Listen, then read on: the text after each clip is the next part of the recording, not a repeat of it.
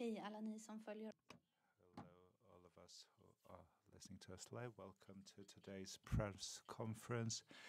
Minister for Civil Defense, Carl-Oskar Bohlin, will take part. Minister for National Development, Cooperation and Foreign Trade, Johan Forssell, and Director General for the Swedish Civil Contingencies Agency, Charlotte Petri Gornitzka.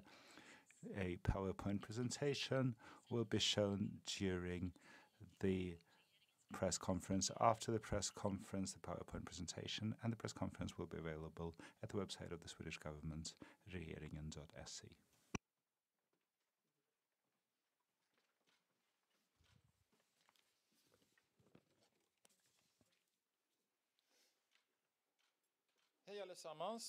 Hello, welcome to today's press conference regarding the earthquake in Turkey and northern Syria. The situation is that an earthquake of magnitude 7.8 took place in south of Turkey at 0147 local time today. The main shock affected neighboring provinces, and during the day, there has been reported a number of aftershocks. In uh, Gaziantep province, they had two aftershocks with a magnitude of 6.4 and 6.5, respectively, on the Richter scale. At 13:24 local time, a new major shock took place in same province where the first shock took place, and this was 7.6 on the Richter scale. So these are serious shocks. In total, at least 2,008 2,824 buildings have collapsed so far. There's a large degree of uncertainty, including a hospital in the Hatay province. The airport in Hatay is completely closed down. The uh, airports in Hatay and Gaziantep have been closed for civil aviation. The Turkish defense force has created an air corridor to the affected area. A natural gas pipeline has exploded, which affects the supply of natural gas. The electric lines and phone lines are not working in several uh, cities. The energy supply is seriously affected. There's also snowstorm which affects rescue efforts and including the and also the frequent aftershocks.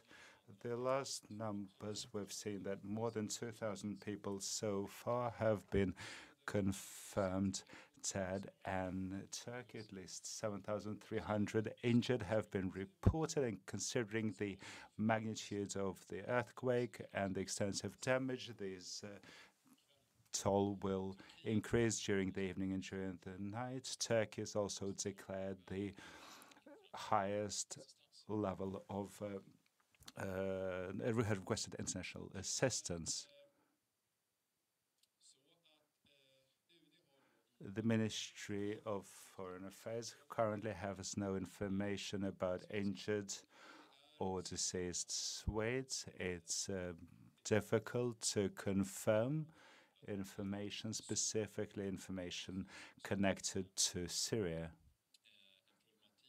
There is an issue in Syria. A number of houses have been damaged and have collapsed. According to the Turkish information with the Turkish press, 427 people has told have died so far, and the latest numbers from the Syrian Ministry of Health is 237 dead and 545 injured. Right now, about 400 people are registered on the list of Swedish citizens in Turkey, very few of them in the affected areas. However, the Consulate General in Istanbul knows that a lot of Swedes with double citizenship are in the area, so the figures are probably high. It's probably more than 100. The number of Swedes in Syria is considered to be quite limited. About 10 people are registered on the so-called Swedish list, but the numbers are probably slightly higher. And uh, the MFA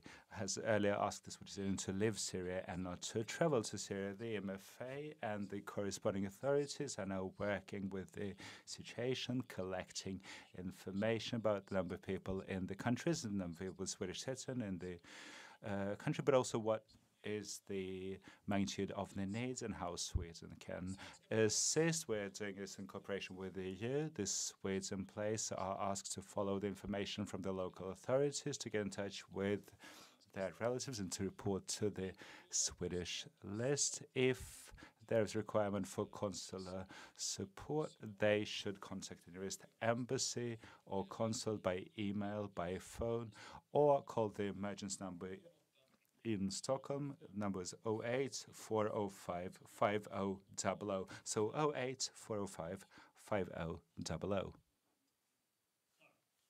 Thank you. At the present stage, people are fighting for their lives and uh, the collapsed buildings uh, due to the earthquake which took place this night, and the world is fighting to collect help and to assist Turkey and Syria. Sweden will be part of this assistance. The work was with this was started already this night, and I soon pass the floor to Charlotte Petri Gornitzka, the GD at the Swedish Civil Contingency Agency, but I'm proud to say that about 10 hours after the earthquake, MSB, the Swedish Civil Contingency Agency, has uh, offered disaster relief to Turkey and Syria. And having said that, I pass the floor to Director General of the Swedish Civil Contingency Agency for, for an update. Thank you.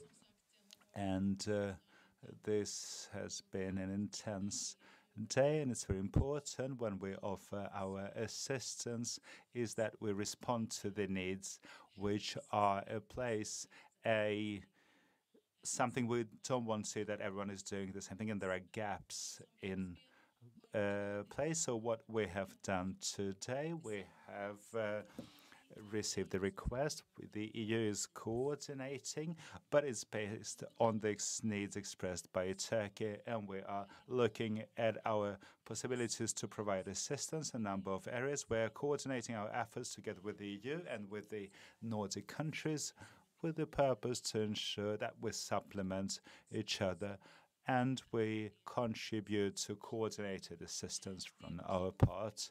It's also extremely important for us to follow up the situation in Syria. As the minister said, it's difficult to work there, so there's a lot of focus on information and to work through Turkey. We have several measures in place, but maybe there's something which the minister would like to say something about. Yes, when it comes to the assistance which uh, Sweden can provide in short term, it's about assistance to the affected population, tents, uh, temporary emergency lodging, temporary offices, and accommodation for relief workers, and maybe most important from the Swedish part at an early stage, possibilities to contribute with uh, coordination and control centers to coordinate the relief work, and we have a possibility to send emergency team on very short term. So the question is what kind of uh, request will be received from the civil contingencies mechanism of the EU, where this work is cooperated, where they've had held a meeting today, and MSB, Swedish Civil Contingencies Agencies, about two o'clock today made an offer saying that they can assist with these different resources. It's also important to note that this is a humanitarian disaster. The consequence of this will be noticeable for a very long term. It's not about being first on the scene, but it's about being resilient with the provided assistance, and Sweden is good at that, and Sweden will be able to contribute. It's uh, about expert knowledge into energy, logistics, construction, water waste management, and Sweden will provide the required assistance, the assistance which can which we can contribute with. Sweden today, being uh, the present country of the EU, summoned a meeting with a council called IPCR. This is the crisis management mechanism, and being the present country, Sweden has the possibility to summon the meeting. We have done that in order to coordinate the assistance on the political level. And here I would like to pass the floor to the Minister for International Development Cooperation and Foreign Trade. Thank you. The situation is as follows. What's happening right now is that the Red Cross and the UN are assessing the needs on the ground. There are no doubts that the situation is very urgent, the needs are great. Therefore, the government today decided to allocate 7 million krona to humanitarian support to IFRC and this is for the Turkish Red Crescent and the Syrian Red Crescent. These are two national Red Crescent uh, associations which uh, have strong uh, networks of volunteers and uh, which means that they in this urgent situation can provide for the affected areas with beds, uh, food, communication, tents, everything which is needed at this very urgent stage. And this is the work we would like to support. Therefore, during this urgent phase, 5 million to the Turkish Red Crescent and 2 million to the Syrian Red Crescent. Additionally, there is a significant support which Sweden already provides through to the to Sweden's core support to you and to OCHA and also the Red Cross through IFRC. So there are several assistance packages which coincide here. The core support is decisive in order for the organizations to be as flexible as possible when such disasters take place so that they can quickly respond to new crises. We will follow this development very closely. We are in close contact with the authorities in the country to find out what kind of assistance is required, how we can uh, contribute in the best possible manner. We're prepared that during the coming day, when we get a new understanding of the needs, we can make new decisions on new assistance. But here at the initial stage, we immediately allocate 7 million kroner to humanitarian uh, aid for the consequence of the earthquake in Turkey and Syria. Det var vi tänkte. That's what we wanted to say at this stage. We're prepared to answer any questions if there are any. Let's start with the SVT, Swedish television. Let me ask you, let me ask you whether the government has had any direct contacts with President Erdogan, among others. We've uh, been communicating with the authorities in the country who and how we can inform you about this later, but we have been in contact with them today. Right, and the meeting, the crisis mechanism which you have summoned, when the, will this meeting take place? Uh, 6 p.m. tonight. Thank you.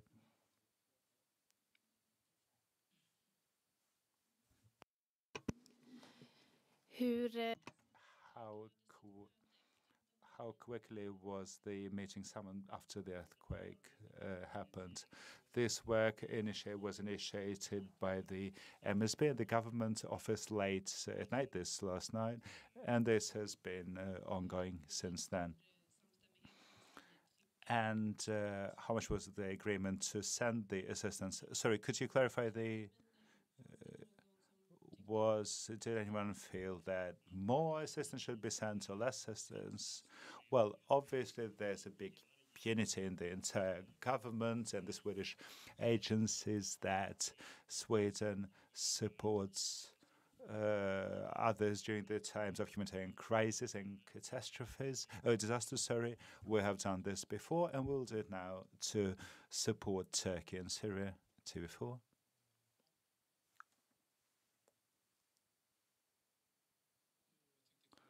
Let me ask you about the assistance, 7 million krona. What is it based upon more specifically?